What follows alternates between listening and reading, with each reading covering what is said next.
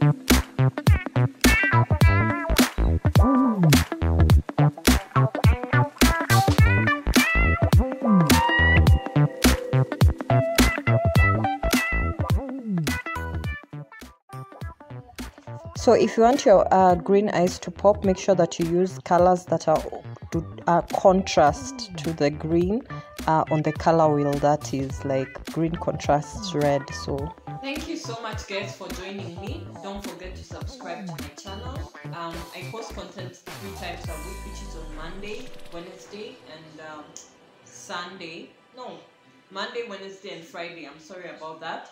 Monday, Wednesday, and Friday is when I post content. And don't forget to subscribe and don't forget to, to like. And I'll see you in my next video. Thank you so much for watching. And if you know that you're a subscriber, I truly appreciate you. Um, thank you.